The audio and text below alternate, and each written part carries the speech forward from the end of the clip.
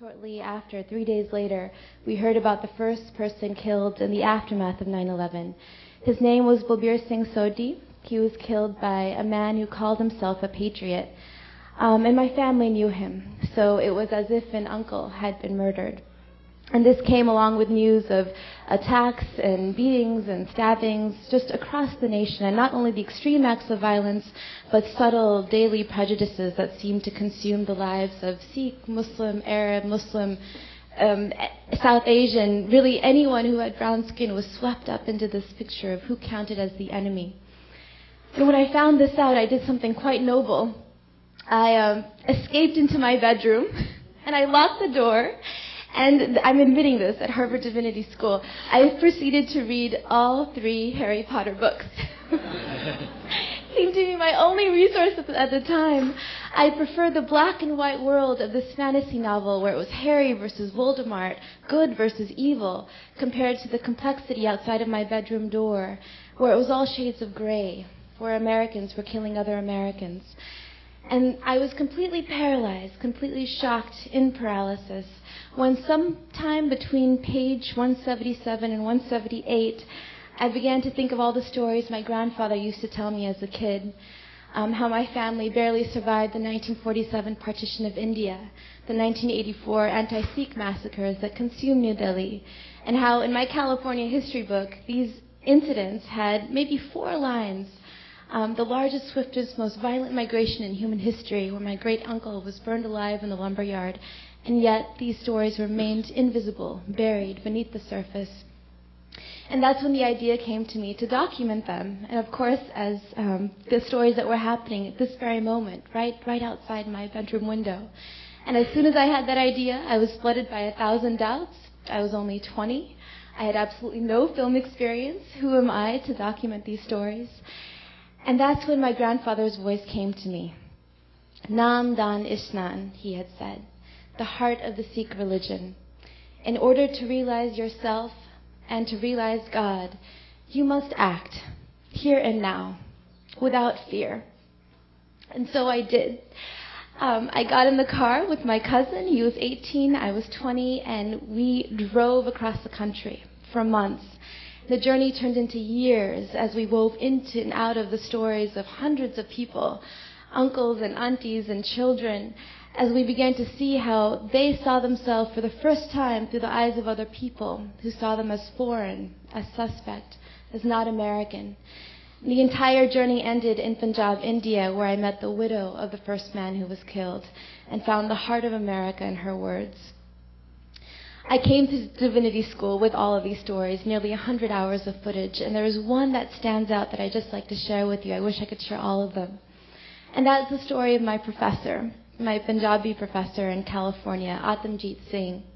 He told me that after 9/11, three different things happened to him. A group of kids came with their skateboards and threw his, their skateboards at him and his wife, and they barely escaped. The second time, he was called bin Laden on the train, and the train stopped, and he got off. The third time, the third time was different. The third time he was on a bus in San Jose when a man at the front of the bus stood up, turned around, red in the face, began pointing at him and yelling, Hey bin Laden, get off this bus, go back to your country, go back to where you belong, cursing. My professor is completely still, looking out the window.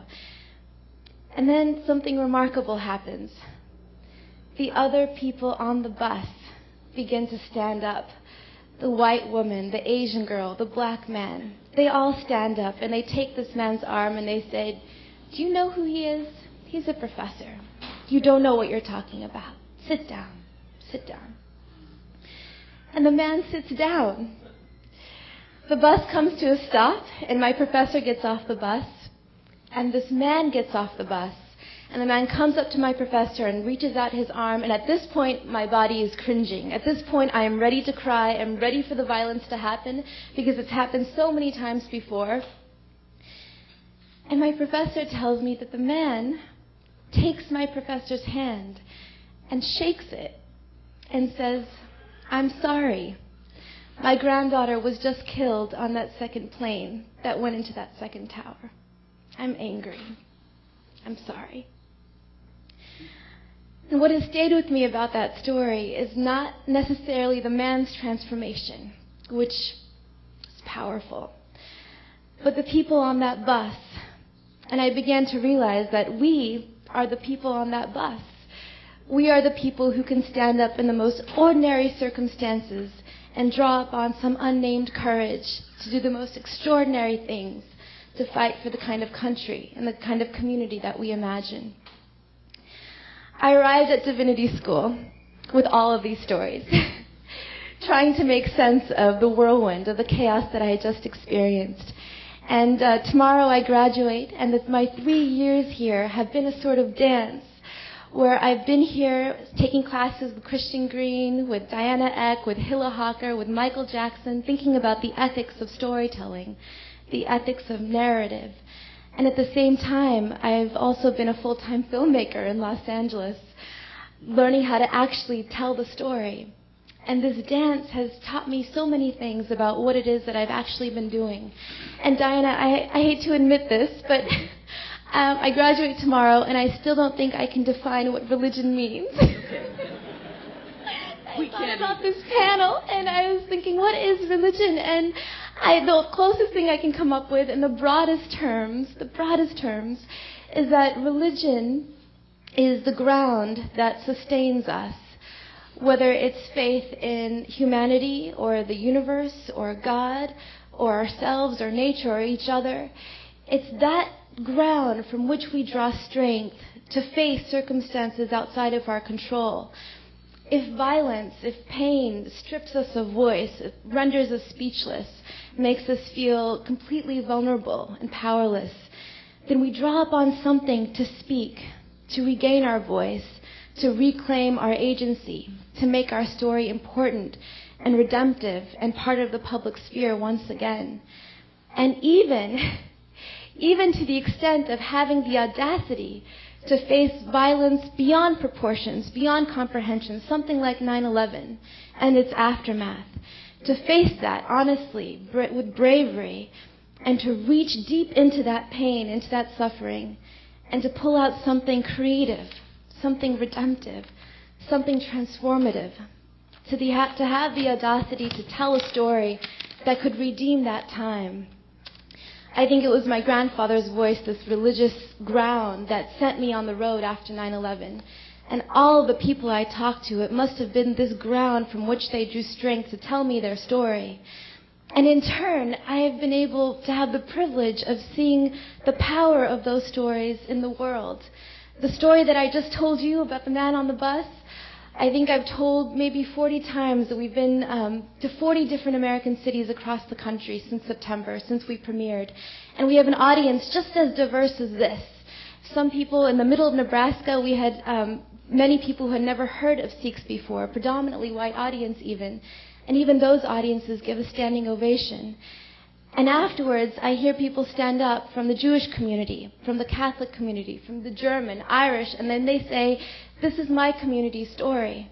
An African American man stood up and pointed to his braids and said, My braids are my turban. These remarkable acts of solidarity so so remarkable remarkable that I begin to realize that the story about my community, about wanting to be counted, wanting to be recognized, is not just my story, my family story, or even my community's. It happened to the Japanese Americans during World War II. It happened to the, the, the Irish and the, and the British and uh, the Catholic and beyond that, it's happened to the African Americans and the Native Americans. I began to realize that this struggle to be seen, to be counted as American, has been part of our country's history from the very beginning. This, this, this fight to, to slowly but patiently expand the circle of who counts as American and who counts as one of us. And what stories, I think, have the power to do is to break down that wall that divides us to remind us of a time in our own life when we ourselves felt like outsiders, that we needed the strength of our brothers and sisters to draw up that courage to stand for each other, to see ourselves in one another, to fight for that community that we so long to imagine. That is a shared human hope that we can create together.